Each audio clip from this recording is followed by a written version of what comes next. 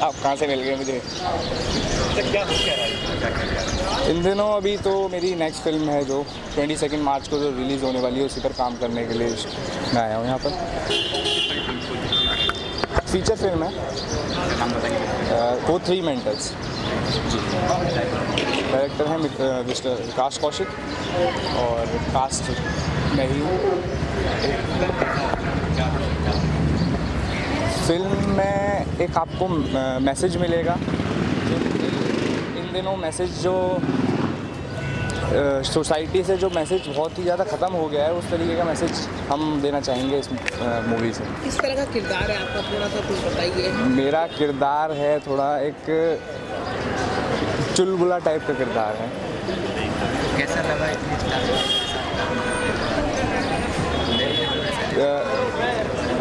एक मैं मैं बहुत, मेरी मन इच्छा थी कि मैं स्टार्स के साथ काम करूँ और मुझे बहुत अच्छा लग रहा है।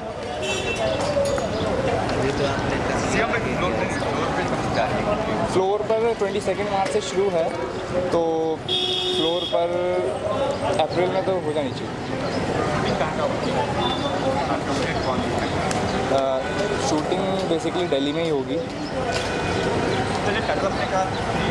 वो थ्री वो थ्री मेंटल्स कहानी क्या जो ये तीन मेंटल हैं वो ऐसा कुछ काम कर जाते हैं तो ये उसी किरदार को उनको ना मेंटल बोल दिया है कि वो ऐसा कुछ काम कर देते हैं जिससे सोसाइटी चेंज हो जाती है।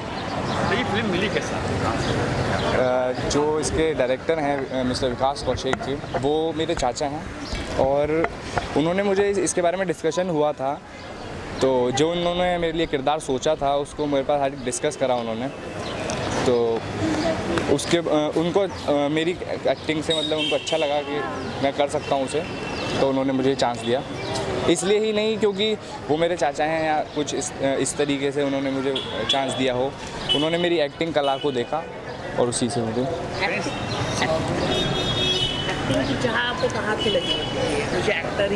एक्टिंग की चाह तो मैं बचपन से ही मतलब ऐसे चाहता था कि एक्टिंग एक्टिंग में आना चाहता था मूवीज़ में आना चाहता था। तो मेरे इंस्पिरेशन रणवीर सिंह जैसे जो कि, कि कुछ भी फ़िल्म बैकग्राउंड से नहीं थे। तो उन्होंने अपनी एक्टिंग के थ्रू ही एक टैलेंट अपना जो उनका एक्टिंग में था उसी से उन्होंने अपने कामयाबी हासिल करी।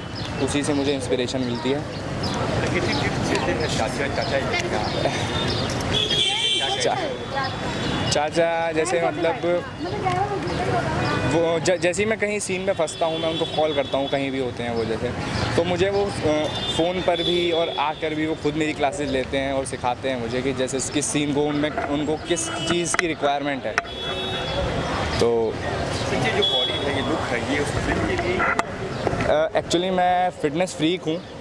मुझे मैं फ़िल्म के लिए नहीं है प्रॉपर बट मैं ऐसे ही रहना पसंद करता हूँ। मुझे अच्छा लगता है फिटनेस ठीक।